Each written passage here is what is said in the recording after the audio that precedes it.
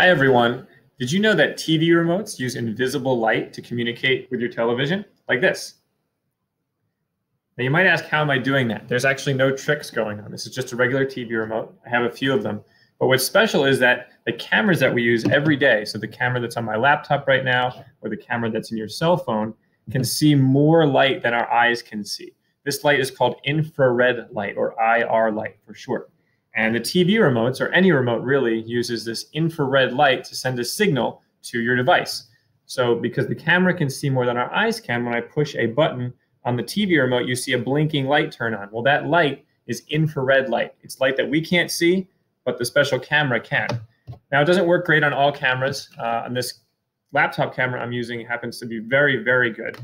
But sometimes there are small filters put on our camera phones that limit us from seeing some of that light. So I'll show you here. It does work with your iPhone camera, for instance. You can see a very dim purple blinking, but it works really, really well with this laptop camera.